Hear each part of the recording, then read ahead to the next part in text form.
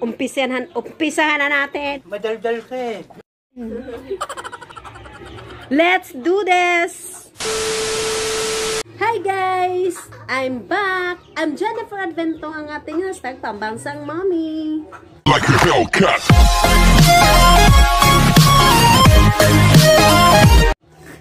Tayo po ngayon ay magluluto. Ang ating menu for the day ay gin Misang Munggo. Ito guys, oh, yung ating mga sangkap. Ayan.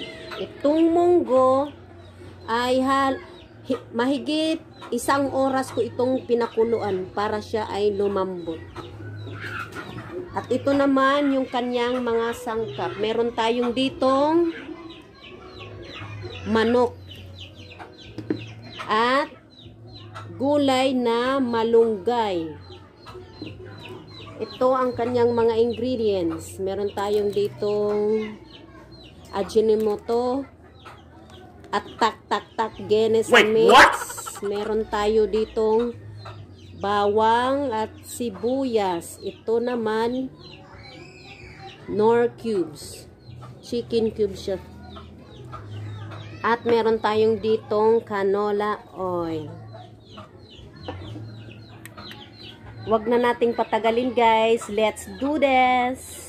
First step po natin ngayon ay magpapainit tayo ng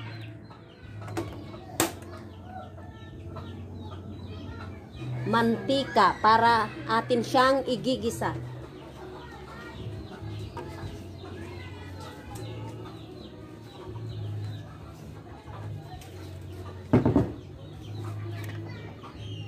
Ayan. Medyo mainit na siya, guys. Ngayon, ngayon, pwede na nating ilagay yung ating canola oil.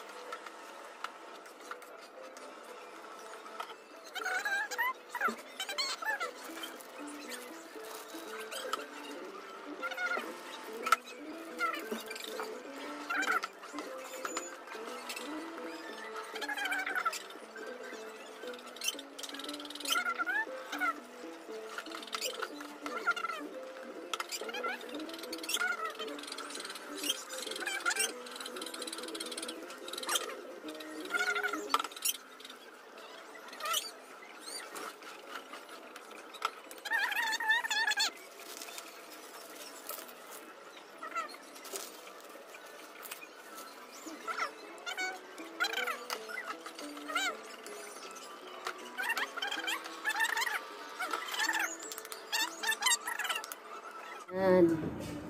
Buksan natin ulit.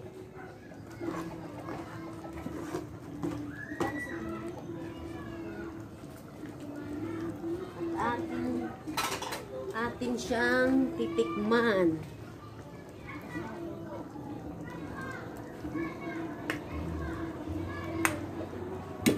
Ayan. Pwede na siya nating patayin yung apoy. Yan.